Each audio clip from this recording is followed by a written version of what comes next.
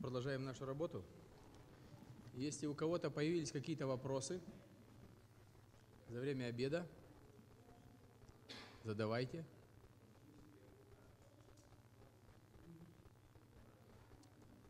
Пока нет.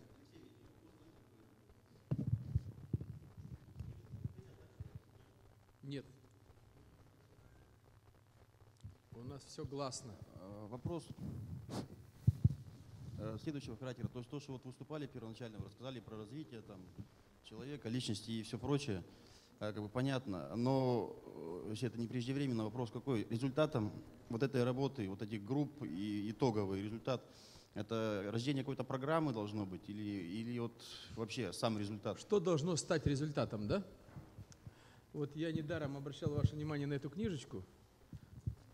Вот здесь в том числе написано ожидаемые результаты.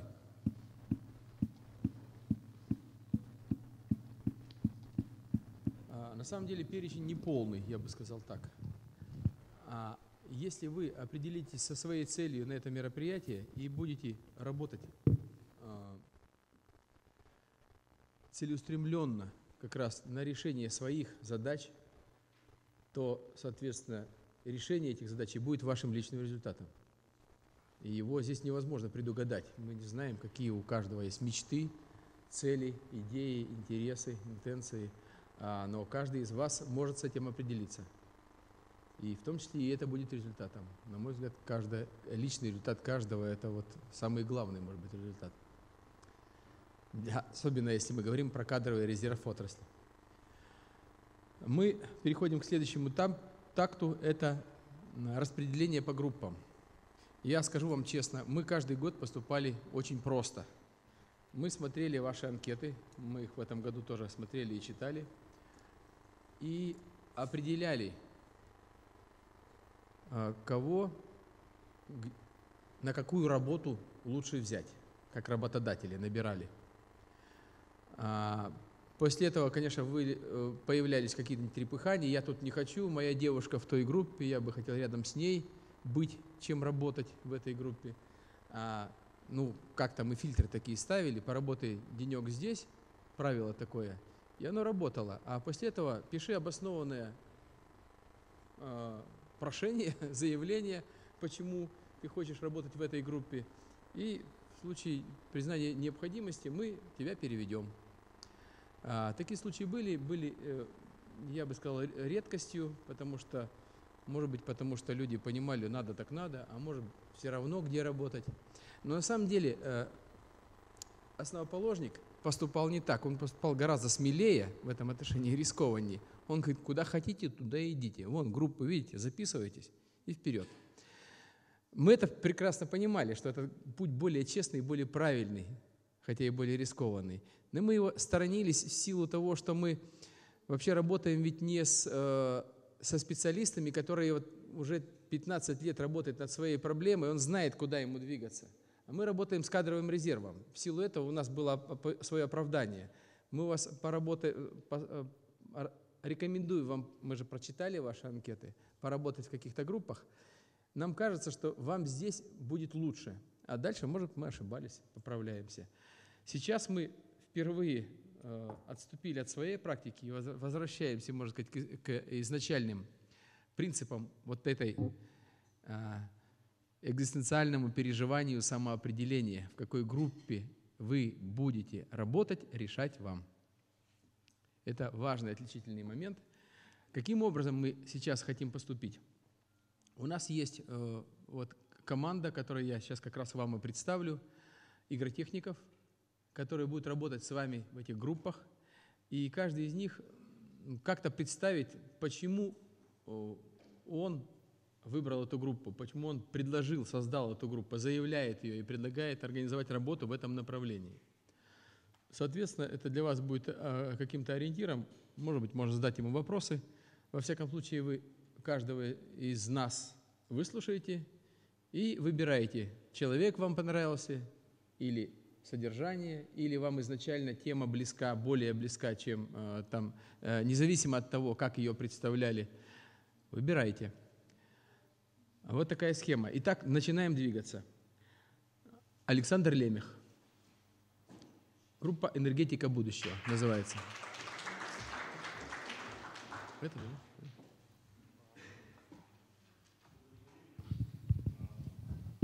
А, в общем, э, я бы хотел а, вам рассказать о группе а, «Энергетика будущего». Вот запустите, пожалуйста. Год назад на этом форуме возник такой проект, собственно, собственно роботизированного комплекса для диагностики этих самых высоковольтных воздушных линий электропередач. И он здесь в рамках форума, собственно, разрабатывался. А дальше так получилось, что вот неделю назад этот проект, в общем, участвовал в одном московском конкурсе. А, его организовывали а, электрические сети и сам фонд Сколково. И так получилось, что этот проект, собственно, выиграл, выиграл в этом конкурсе. А идея проекта такая – объединить а, орла и ужа. Орел взлетает, значит, усаживается на собственно, линию электропередач и, собственно, и как бы по ней идет и, собственно, осуществляет всю диагностику. Вот сегодня а, в НТЦ ФСК обсуждаются вопросы, а, как сделать обслуживание сетей автоматическим. А, сегодня, в общем, в Европе есть, например, несколько проектов, Индустрии 4.0, так называемых, автоматические заводы. Как сделать так, чтобы заводы были, собственно, автоматические и так далее.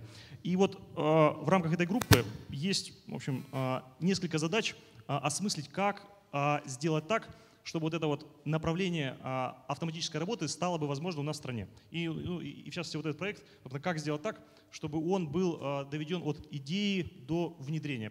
Собственно, сейчас получается вот, вот эта компания, это было, это дело было, было презентовано директору, собственно, Россетей. Он сказал, что будем внедрять, надо, надо внедрять. Фонд Сколково сказал, что, что мы это дело, собственно, мы это к себе берем, а, дескать, а, это самое, дадим грант и так далее. Вот, собственно, как сделать так, чтобы а, вот такого рода проекты возникали бы в реальности, и чтобы они, собственно, входили бы в нашу жизнь.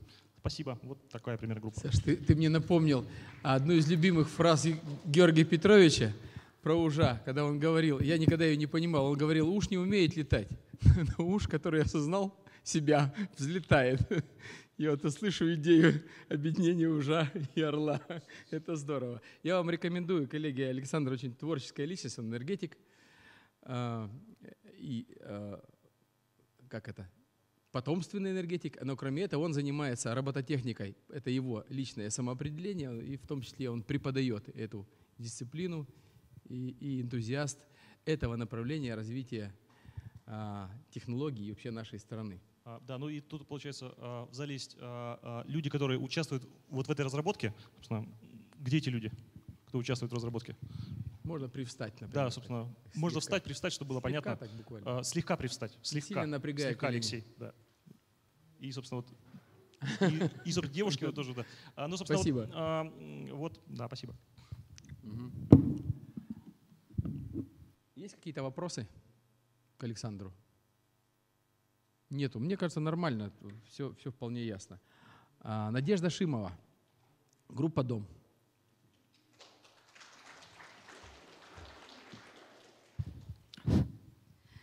Здравствуйте. Значит, еще раз меня зовут Надежда Шимова. Э, вообще я работаю в Уральской горно-металлургической компании в корпоративном университете. Но кроме этого я еще жена, мама и хозяйка. И вот э, сюда я пришла заявить группу «Дом». Э, почему? Вот вообще я мечтаю жить в большом красивом доме. Вот честно скажу, в классном таком, чтобы он был энергоэффективный, безопасный, надежный, умный, с новыми технологиями. Э, значит, чтобы всегда вода горячая была. Вообще, чтобы услуги электроэнергетики и вообще энергетики были самого высокого качества. И хотелось бы еще, чтобы платить за них было ну, поменьше, ну, в два раза, вот э, по отношению к тому, как сейчас.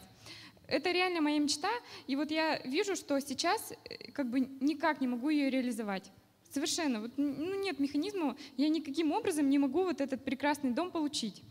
Э, мне кажется, это несправедливо. В нашей большой, богатой стране, которая на самом деле богатая, у каждого человека должен быть вот такой замечательный дом. Вот я бы хотела в этой группе разобраться, как можно вот это воплотить в нашей стране в реальность, как это сделать вообще. Вот. Значит, второй, э, вторая тема работы группы — это тема семьи. То есть вот, например, мне бы хотелось, чтобы вот семья моя, э, которая живет в этом прекрасном доме, вообще была сама по себе тоже прекрасная, чтобы она была источником энергии, развития для каждого вот из родных, чтобы там любовь была, чтобы, ну, в общем, чтобы все хорошо было в семье. Но вот вокруг вижу совсем другую картину. То есть разводы превратились в норму, ценность семьи во многом утеряна, э, как бы там ну, многие вопросы, как бы вот одиночество часто встречаются у людей. Некоторые люди вообще не хотят семью заводить. Что, нафиг она нужна? Вот. Мне кажется, что вот это тоже неправильно. И главное, э, часто каждая новая семья ну, начинает как бы с чистого листа. Э, мы не можем вспомнить там факты жизни наших бабушек, дедушек, а уж если говорить о прабабушках, мы вообще не знаем, как их звали там. И как бы вот это вот э, предназначение семьи, ее исторический путь, как вообще она связана с историей страны, мы вот этого не знаем. А если бы знали, может быть, бы такие семьи, которые бы появлялись в России, вот, которые связывают историю своего рода с историей страны, может быть, тогда не было бы такого, что люди там уезжают, не хотят жить в России. Вот. В общем, вот эта тема тоже хотелось бы разработать в этой группе, ответить на вот такие вопросы. Вот всех приглашаю, у кого особенно проблемы с жильем, там, всех запишитесь вот туда. Если есть вопросы. Спасибо. Я тоже очень рекомендую эту группу. Коллеги, я хочу обратить внимание, что вот слово «дом» какое-то как бы приземленное. На самом деле, э, у меня личное впечатление, что вот на этом нашем форуме все задачи, которые мы ставим здесь, они все запредельные, они все, на мой взгляд, явно выше возможностей всех нас вместе взятых. А, они очень труднодостижимы в смысле его, их полного разрешения. Но, скажем, э, мне знакомо мнение наших э, выдающихся философов, в том числе, что, скажем, в этих трех буквах заключена национальная идея развития страны. Именно вот это. И как бы я это знаю, и многие из вас, наверное, тоже это слышали. Но что это значит? Это же не просто, это либо к этому надо прийти к, этим, к такой простой формулировке за неделю, либо наоборот, надо понять, а как это возможно, как возможно вот эта вот идея здесь, за, зарытая за, этой, за этим маленьким коротким словом, она может развернуть как бы нашу страну развернуть и дать ей э, мощный серьезный импульс развития. Что это значит, как это сделать, и как под эту идею должны подстроиться все, все остальное, например, энергетика. Спасибо, очень рекомендую. А есть у нас э, Андрей Антаков. Его нет у нас. Он, он где-то едет. А, он решил, что на группе будет, вернее, в игре очень э, уместно будет группа «Потребитель». А кто-нибудь может выйти и обосновать, зачем эта группа нам нужна? Потребитель. Нету таких, да? А, тогда, тогда идем дальше. А, Виталий Соломеин. Образование личности. Группа. Всем здравствуйте. Меня зовут Виталий. А, группа образования личности – почему, собственно, такая группа появилась на игре? Э, для меня слова образования личности, они звучат как один большой вопрос. И э, я не могу к нему добавить что-то более существенное, я хотел бы поделиться некоторыми переживаниями по этому поводу. На моей малой родине растет дуб параллельно со мной. Вот. И до 18 лет мы с ним все это делали параллельно. Я рос, и он рос. Э, он увеличивался, и я в размерах. Э, но вот с какого-то момента я понял, что начал отставать. То есть мой организм не позволял мне э, дальше соревноваться в этом плане с дубом. И вот с того момента у меня возник вопрос, как, как не отстать от дуба. То есть каким образом должен дальше продолжать развиваться я, какие побеги должны быть у меня, какие годовые кольца, какого цвета листья, может быть, должны на этих побегах быть. Э, вот на этом спасибо. Всех приглашаю в мою группу «Образование личности». Соломин Виталий. Спасибо, Виталий. Э, хочется пожелать успеха этой группе и тем, кто там будет работать. Э, я понял, что почти все прочитали статью по проблеме образования в нашей стране, которую мы предлагали прочитать. Есть проблема, есть люди, которые во весь голос об этом говорят. Но тут, смотрите, тут э, не образование, проблема образования, а тут, тут два слова – да, и смысл здесь вот такой, который, э, который здесь зашит, он, э, он не, не просто про проблему образования, он гораздо более личен и одновременно, на мой взгляд, гораздо более стратегичен, поскольку это, это говорит, на мой взгляд, уже о, о, о новой постановке проблемы образования. Идем дальше. Амина Нигматулина, группа общественной организации.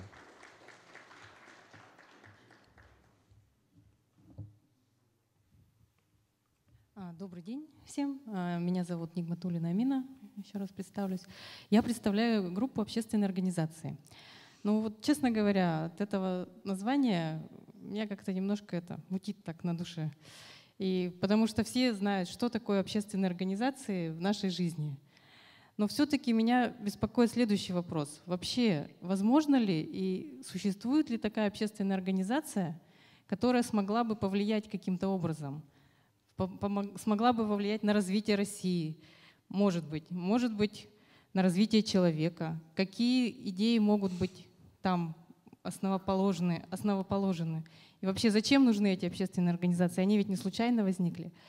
Я хотела бы рассказать э, один пример из своей жизни. Я в детстве очень любила одну книжку, называлась она «Дорога уходит вдаль», и там описывалось время дореволюционное.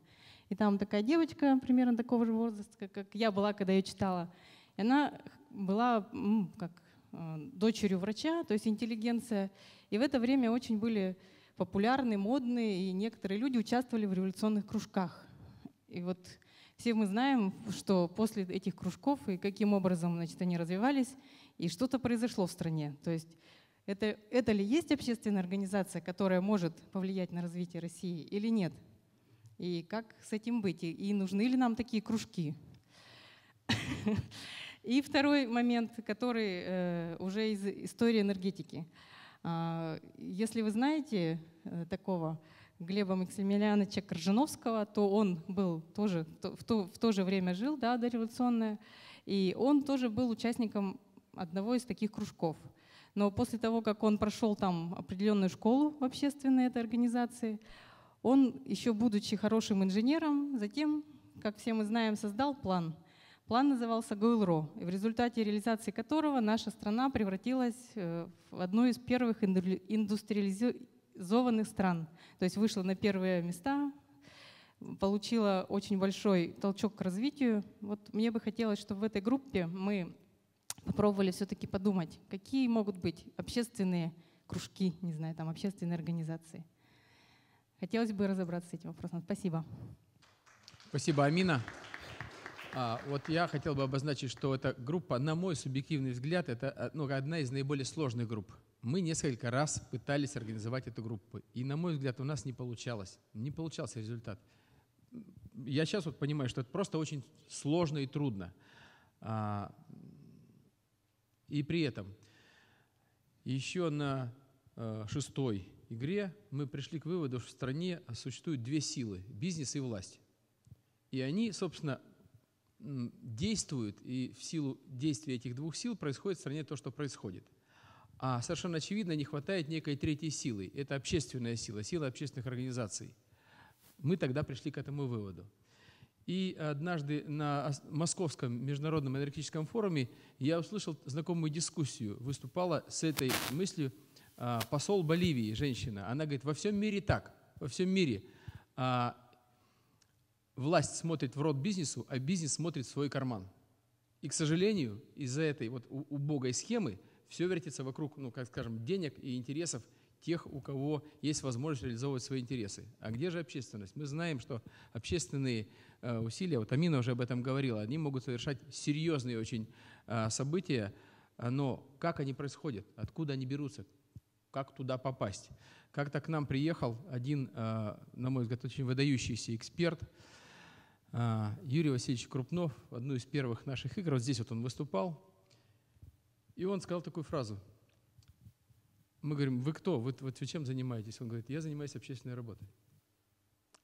И вот для меня фильм «Служебный роман», где э, женщина бегала, собирала то на похорон, то на день рождения, там, вот это была общественная работа. А тот человек с достоинством, уважением самому себе говорит, я занимаюсь общественной работой. Это и есть самое главное, что можно делать сегодня здесь, а, скажем, в нашей стране. Вот поэтому тоже запредельная задача, на мой взгляд, и, и, и я признаюсь в неудачах, моих неудачах на этом пути, и тем не менее, не теряя энтузиазма, что, может, мы с вами вместе сможем продвинуться а, пути разгадки, понимания, вот что такое а, развитие страны через э, участие в них общественной организации. Дальше.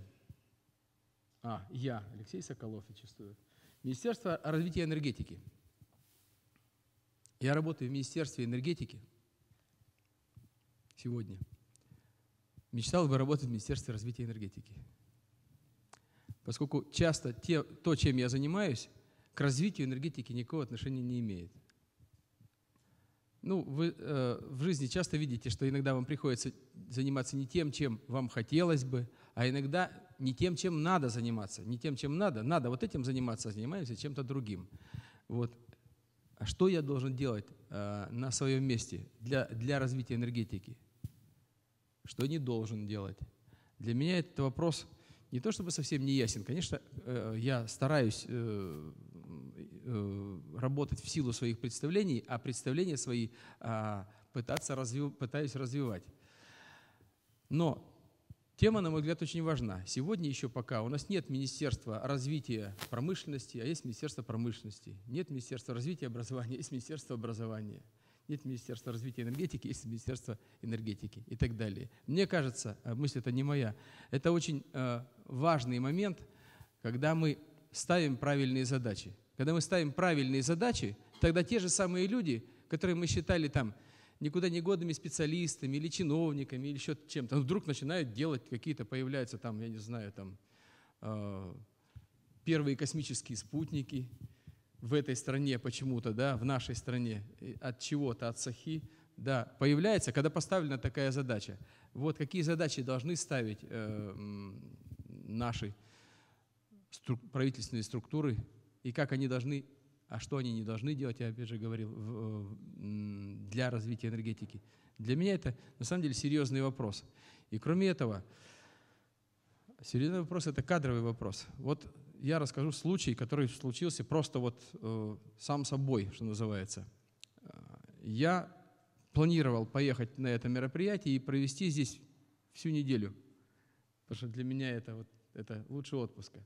Это очень серьезная подпитка. Я здесь много чего получаю. Вдруг э, накладка такая, замминистра уезжает в отпуск, и мне надо быть на мероприятиях вместо него, там, с выступлениями, с проверками и так далее. И следующей неделе у меня будет занято в том числе этими делами, я буду уезжать отсюда. А, поэтому я не смогу работать в этой группе в полную силу. Вот в чем сложность. И, а для меня важна эта группа. В, это, в этом отношении я вам рекомендую, представляя Олю Кощееву, которая будет в этой группе моим заместителем. И я надеюсь, что у нас с ней и у, у вас, у вас и у нас с ней все-таки что-то получится. Еще одно обстоятельство. А, в день как раз э, ухода в отпуска министра ломает руку моя заместитель Ирина Викторовна Рогожникова. И, соответственно, я сейчас еще по, этой, э, по этому обстоятельству просто не могу здесь находиться. Ситуация экстремальная для меня. А не хочется закрывать группу. Ну, просто не хочется откладывать на, на непонятно когда. А вдруг следующей игры просто не будет. И кроме этого, я ищу человека в отдел.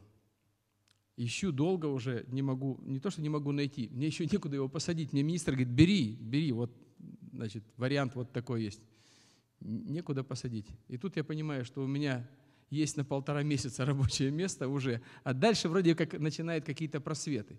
Мне нужен на работу в мой отдел человек буквально с понедельника. Я еще этим буду занят, но, может быть, я найду его и здесь. Это в пользу этой группы просто. Реклама. Спасибо. Идем дальше. Константин Гаврилов. Наука развития.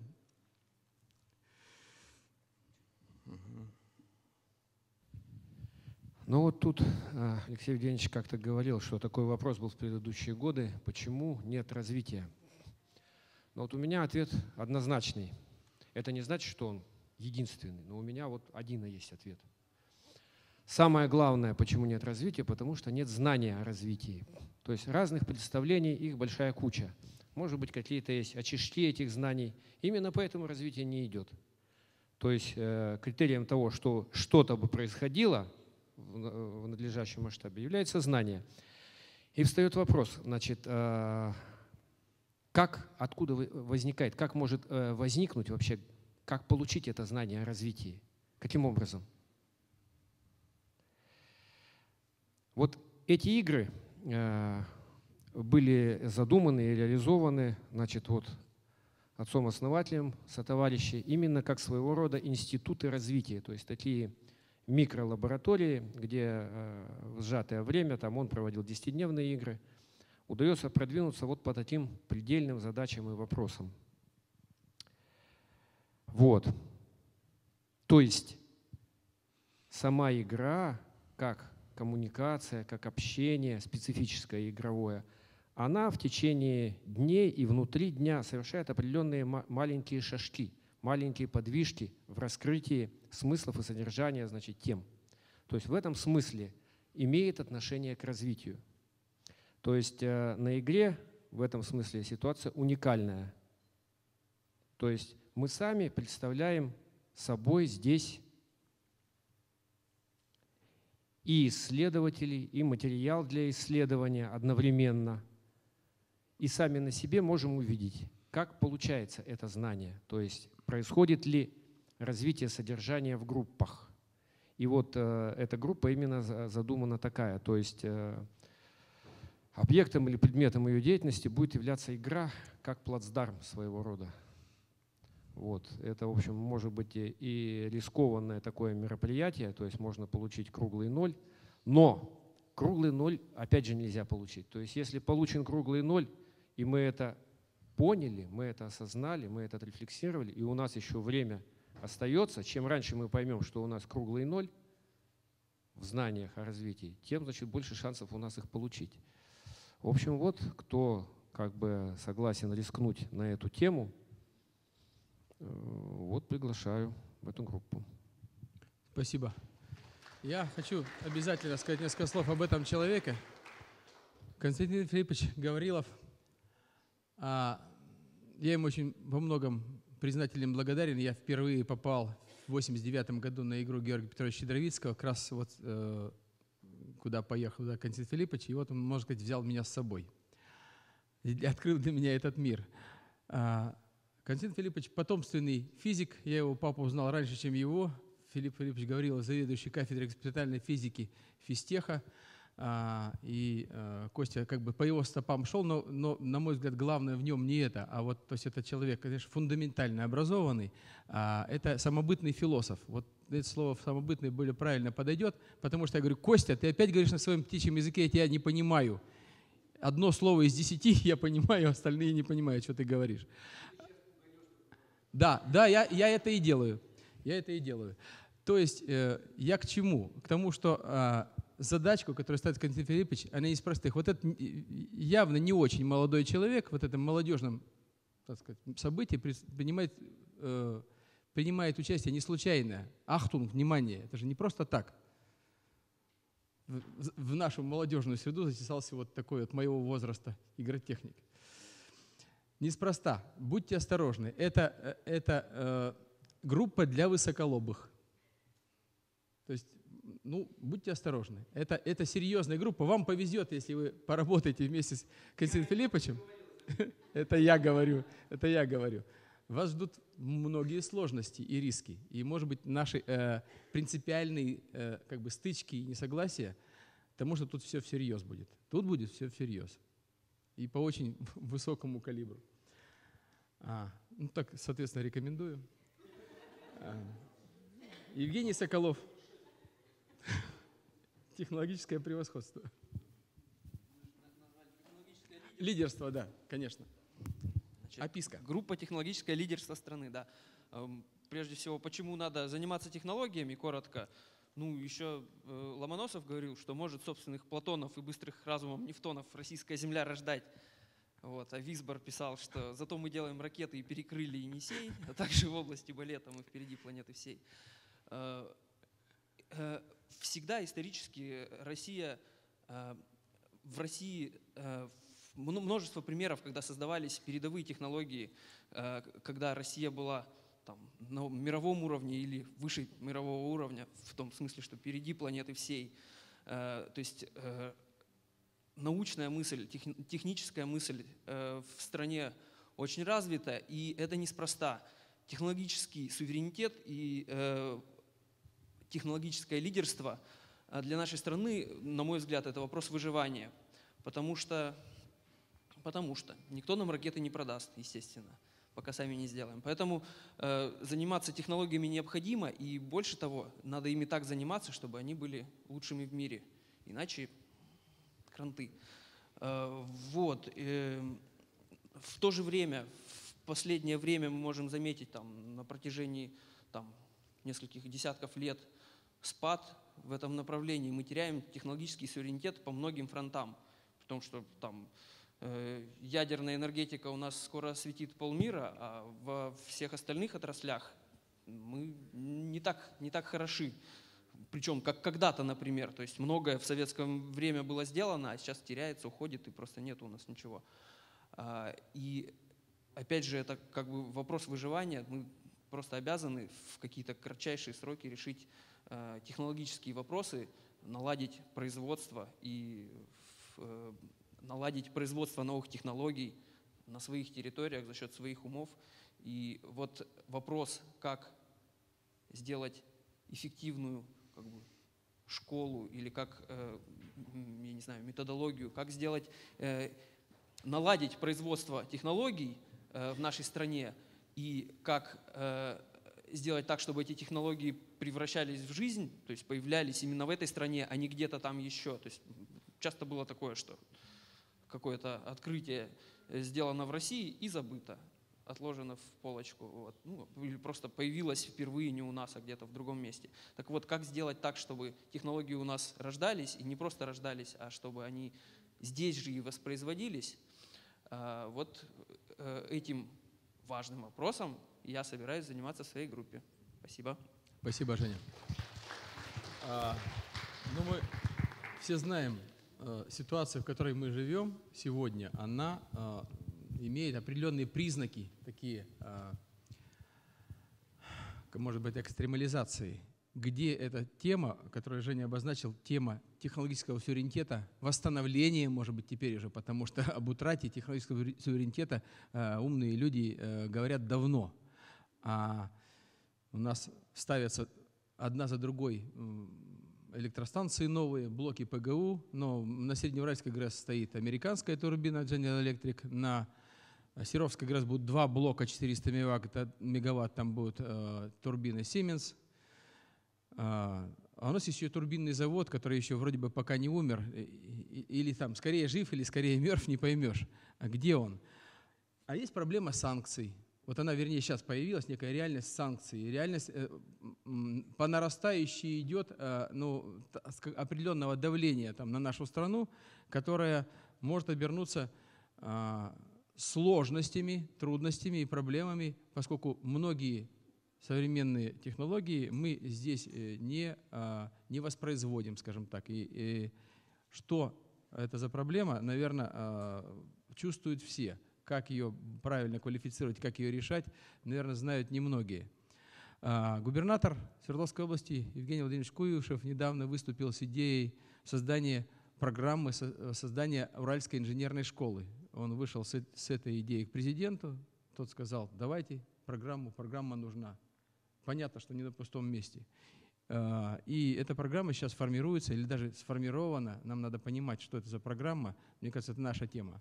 И э, неспроста 7 мая 2012 года, как только э, Путин заступил на пост президента, он подписал несколько указов, так называемых 600 там пакет был указов, э, в том числе и о создании высокопроизводительных рабочих мест.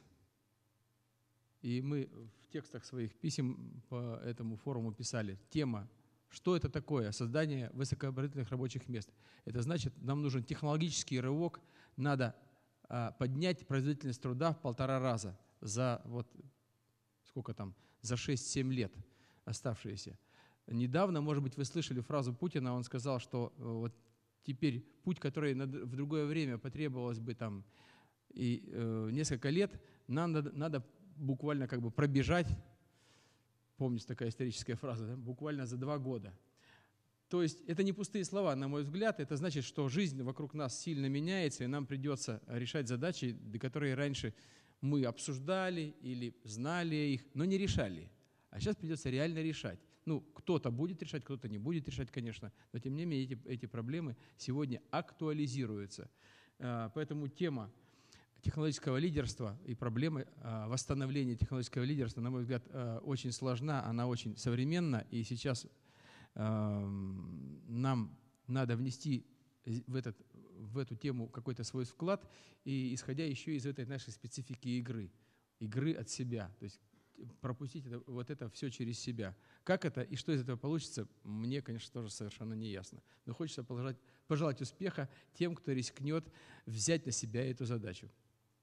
Итак, мы определились, у нас есть группы. Сейчас вроде бы осталось подойти э, к стене, записаться в какую-то из групп и распределиться по местам работы. Есть у нас еще один, э, еще один блок, кусок к этому часу. А, я хочу просто эту тему здесь завершить. Если мы сейчас запишемся, или после, после э, там, эксперта запишемся, то у нас будут рабочие места. Там были какие-то вопросы, Оля, да? Надо как-то комментировать, нет? Или все знают, рабочие места группы там написаны, или вот здесь в программке можно найти. Это на этих вот этих небольших пространствах надо сориентироваться, найти свою группу, и через какое-то время мы договоримся, через какое время там собраться. Это будет, наверное, минут через 45 через 45 минут. А сейчас а, тема нашего дня сегодняшняя. Откройте программку. Вызовы, внешние вызовы и требования к развитию страны. Мы думали, какого бы эксперта подобрать, который бы нам осветил эту тему, делал в введение. Но оказалось, вот так случайно оказалось, что вчера а, состоялась выступление одного нашего ведущего эксперта на эту тему, и, мы предлагаем сейчас вместе с вами начать работать по теме дня совместного просмотра выступления Владимира Владимировича Путина вчера на Валдайском клубе. И потом будет распределение по группам, и уже рабочие вопросы.